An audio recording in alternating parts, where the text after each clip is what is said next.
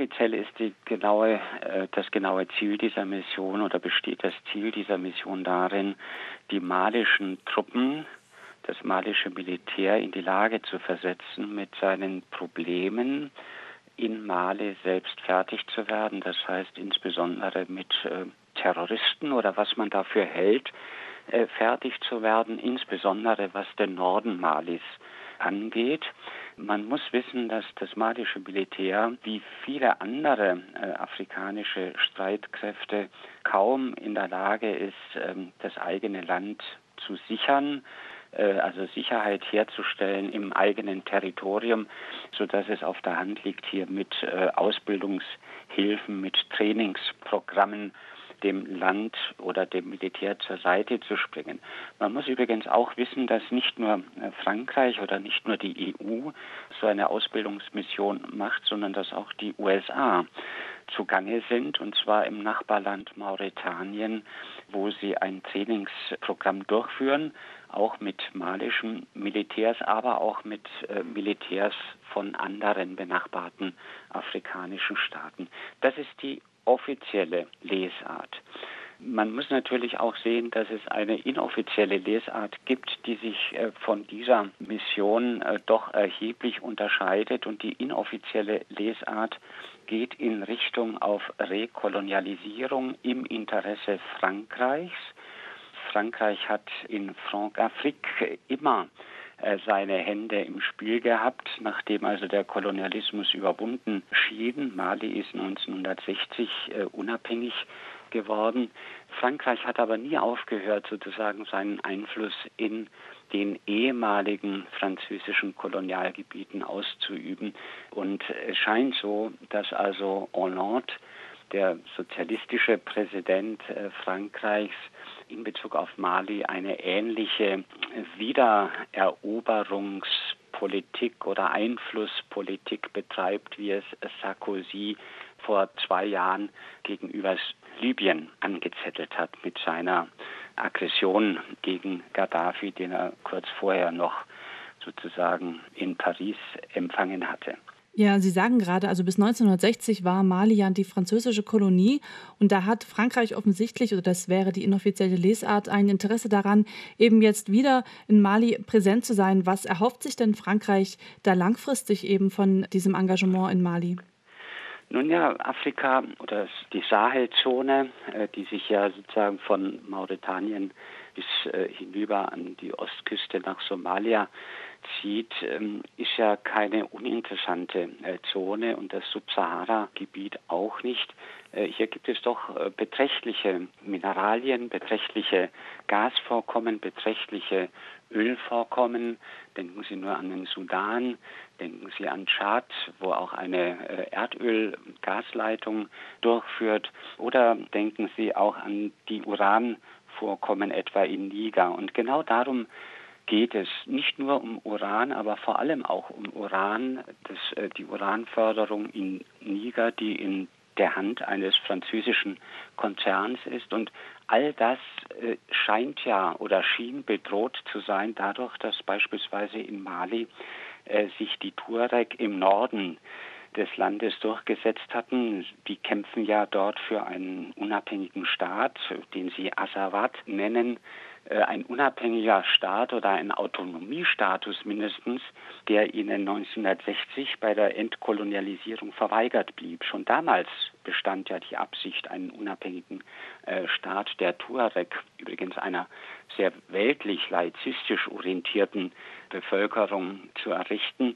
Aber das haben damals die Franzosen äh, im, sozusagen im Entkolonialisierungsprozess Mali verweigert, sodass also dieser große Staat, der ja von der Fläche äh, so groß ist wie äh, größer als Spanien und Frankreich zusammengenommen, ist äh, dieser große malische Staat zusammengezimmert wurde in den alten Kolonialgrenzen. Das heißt, wir haben von Seiten der Tuareg das Bedürfnis, hier mehr Autonomie zu haben. Und wir haben von Seiten Frankreichs das Bedürfnis oder das Interesse, diesen Staat zusammenzuhalten, um die französische Kontrolle über diese äh, ehemalige Kolonie wieder zu erringen. Das ist der Kern, glaube ich, der Politik von Hollande. Die ehemalige Kolonialmacht Frankreich, die inszeniert sich ja eben damit so als ja, Retter in der Not, könnte man sagen. Dabei haben sie eben während ihrer kolonialen Herrschaft die gesellschaftlichen und politischen Strukturen maßgeblich auch mitgestaltet damals. Inwiefern ist denn Frankreich unter diesen Vorzeichen überhaupt in der Lage, die Situation positiv zu beeinflussen, beziehungsweise was ist denn da absehbar, ähm, wenn die Interessen da aufeinandertreffen, wie sich da auch die ja, malische Regierung, aber auch die Bevölkerung dahin entwickeln wird oder hin tendiert? Also Sie haben das schon ganz richtig gesagt. Äh, das Erbe des Kolonialismus, übrigens nicht nur des französischen Kolonialismus, mhm. aber vielleicht insbesondere des französischen Kolonialismus, das Erbe dieser Kolonialzeit besteht auch in durch und durch korrupten Regimen dieser Länder, dieser ehemaligen Kolonien, in einer Verfilzung von äh, Militär und äh, Ökonomie, teilweise in Zusammenhang auch mit der ehemaligen Kolonialmacht oder mit französischen Einflüssen, die dort äh, natürlich noch äh, vorherrschend sind. Das ist ja in britischen äh, Kolonialgebieten nicht viel anders. Das heißt also, das Erbe äh, ist so, dass Demokratie oder was dafür gehalten wird, auch formale Demokratie in diesen Ländern kaum zum Tragen kommt. Abgesehen davon, dass es eben mit äh, Wahlen, mit demokratischen Wahlen nicht getan ist, sondern eine Gesellschaft muss ja demokratisch äh, sein und sie muss sozusagen nach demokratischen Gesichtspunkten äh, vorgehen. Und Mali ist ein gutes Beispiel dafür. Wir haben mitten in der hegemonialen Politik, die die Tuareg im Norden Malis gespielt haben, vor einem Jahr, haben wir im Süden Malis einen Putsch gehabt, wo der demokratisch gewählte Präsident weggeputscht wurde von dem Militär. Das Militär, das dem ehemaligen weggeputschten Präsidenten vorgeworfen hat, er hätte nicht genügend getan für die Einheit des Landes. Und dieses Militär ist selbst nicht in der Lage gewesen, irgendetwas für die Einheit des Landes zu tun. Deswegen war es dann schließlich ähm, Ende des Jahres und jetzt im Januar, Februar froh, dass Frankreich äh, mit seinem Militär ausgeholfen hat, immerhin mit 4000 Soldaten und Deutschland in seiner Bündnisverpflichtung oder in seiner vermeintlichen Bündnissolidarität springt nun den Franzosen bei. Und zwar äh, muss man auch ganz klar unterscheiden, nicht nur mit einer Ausbildungsmission, wo 180 Bundeswehrsoldaten äh, abgestellt werden, die seit gestern ihre Arbeit aufgenommen haben, sondern auch mit einer direkten Unterstützung der Luftwaffe, der französischen Luftwaffe.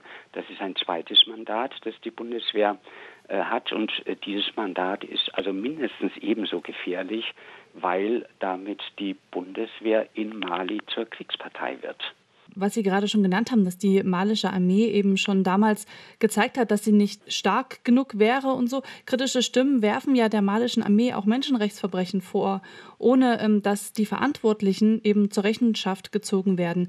Inwiefern zeigten sich da die malische Armee für Umstrukturierungen und Menschenrechtslehre, bei der es ja auch bei dieser EU-Ausbildermission gehen soll, überhaupt dafür bereit?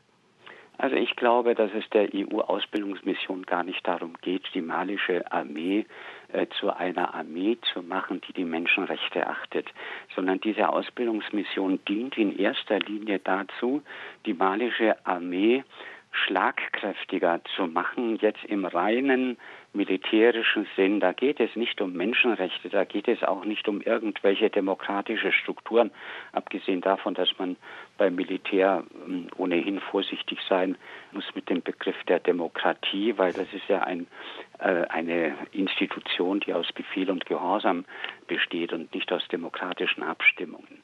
Also es geht darum, diese Armee schlagkräftiger zu machen. Das ist der erste Punkt. Und der zweite Punkt, der häufig äh, übersehen wird, besteht darin, dass die EU und das steht so in der Missionsbeschreibung der EUTM, also dieser Trainingsmission der Europäischen Union, dass die malische Armee mit neuen Waffen und mit neuer Ausrüstung ausgerüstet werden soll. Und es steht dort in dem Gipfeldokument der Europäischen Union, heißt es, zur schnellen Lieferung geeigneter militärischer Ausrüstung soll diese Mission dienen. Das heißt, auch die europäische Rüstungsindustrie kann sich die Hände reiben, weil es hier darum geht, Waffen und Ausrüstung ins Land zu bringen und die zu bezahlen mit letztendlich mit unseren Geldern oder mit einer stärkeren Verschuldung dann äh, der malischen Regierung. Das sind die Ziele.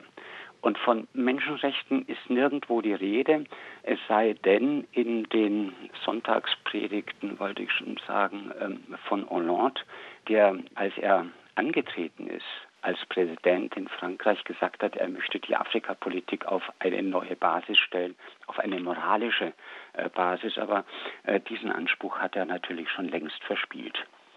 Herr Stutinski, vielleicht eine abschließende Frage. Wenn Sie einen Ausblick wagen würden, was glauben Sie, wie wird sich äh, die Situation in Mali jetzt weiterentwickeln? In einem hat äh, Bundesverteidigungsminister de Maizière vollkommen recht als er im Bundestag, als über Mali, äh, über diese Mission gesprochen wurde, gesagt hat, das ist eine Langfristaufgabe.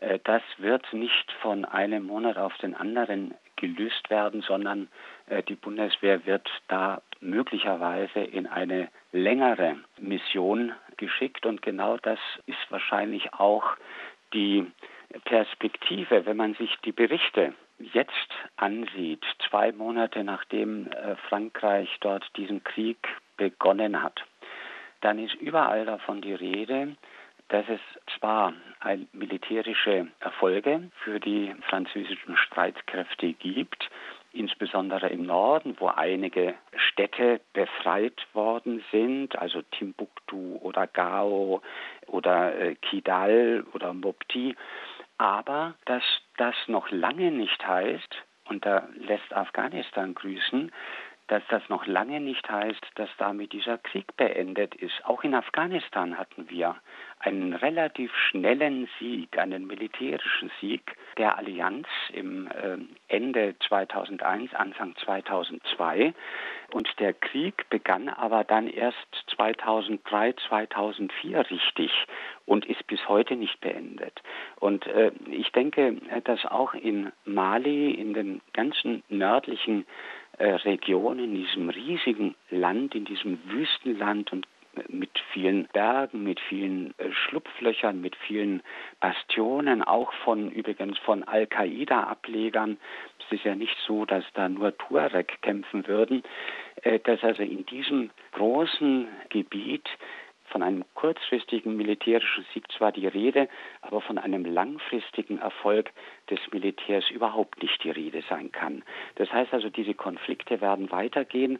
Auch deutsche Soldaten werden möglicherweise in größerer Anzahl künftig in Mali, vielleicht auch in angrenzenden Ländern, weil dieser Konflikt wird sich ausbreiten. Der bleibt nicht auf Mali beschränkt, der wird äh, nach Algerien, der wird nach Mauretanien, der wird in den Tschad, der wird nach Niger und in andere Länder sich ausbreiten, äh, dass also auch Bundeswehr und andere europäische Staaten, vielleicht sogar auch die Vereinigten Staaten von Amerika in diesen Konflikt äh, stärker eingreifen werden und wir dort einen Dauerbrandherd haben werden.